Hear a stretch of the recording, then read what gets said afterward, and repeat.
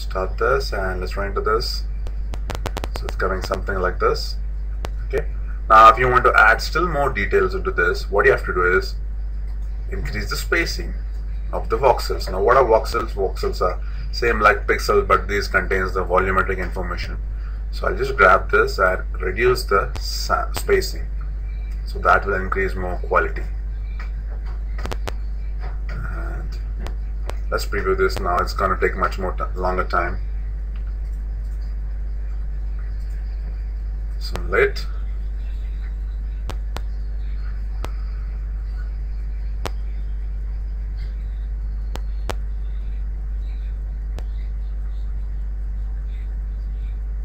you can see the render time has increased.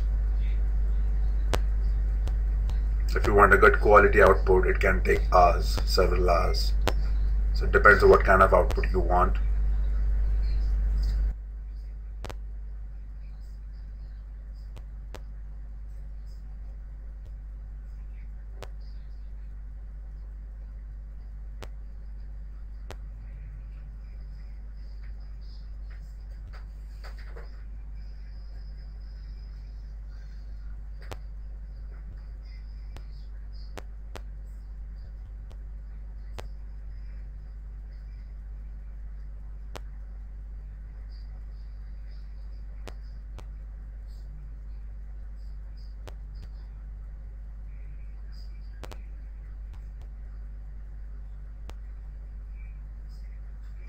Let's pause the video. Stop.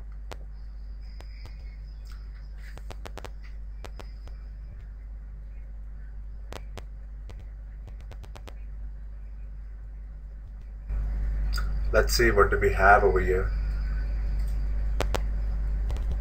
Here we go. Look at the fire now. That's much more detail into the fire. Okay. Uh, you can use V-Ray to eliminate this with the global illumination. You can just go into rendering, come down, assign V-Ray, and just turn on the global illumination.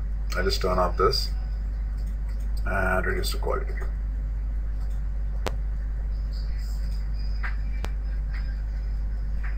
Look at this, it's so simple.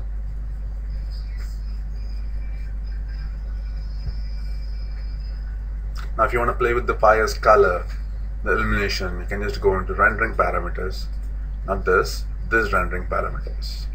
Come down and you can just adjust the color. Now you don't have to calculate it again because we have already simulated the particles. Now we just have to adjust the colors and the opacity. So you can just increase this, render this,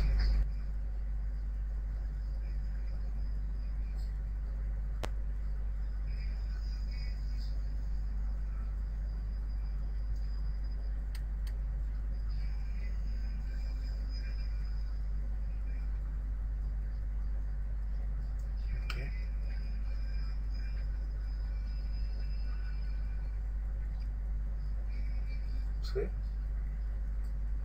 It's simple.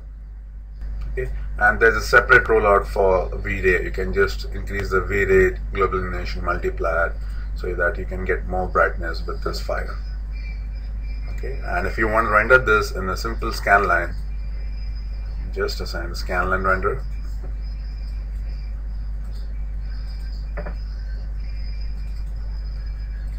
And what you can do is just assign a single omni? Let's close this. To lights standard lights omni. I just place this omni at this. Now the omni won't render shadows because it is inside this thing. So we have to exclude this part. So we're going to modify and gonna exclude that portion so that it won't get calculated and it can render shadows also. So when the camera maybe I'll use area shadows.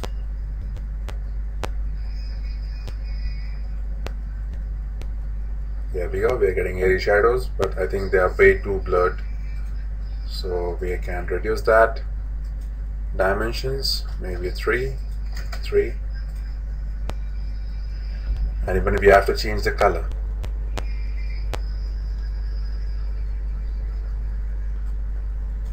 think it be like 5 5 and change the color.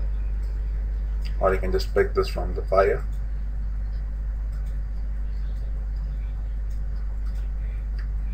And right now the light doesn't have decay it's not fading out. So let's turn on the decay inverse and increase the radius a little bit so that light will start fading from this gizmo